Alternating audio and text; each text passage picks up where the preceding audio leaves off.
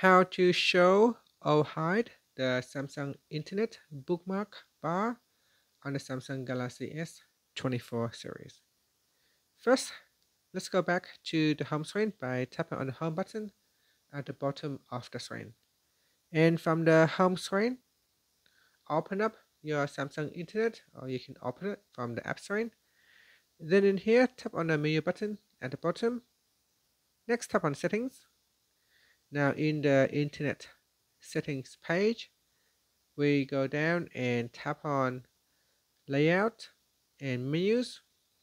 From here, tap on show bookmark bar, tap on the toggle button to turn it on, uh, tap on it to switch it off.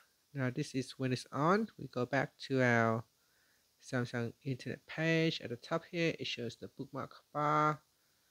We can hide it by go back into settings and go into layouts and menu and turn off show bookmark bar and at the top now the bookmark bar is disabled. And that's it. Thank you for watching this video. Please like and subscribe to my channel for more videos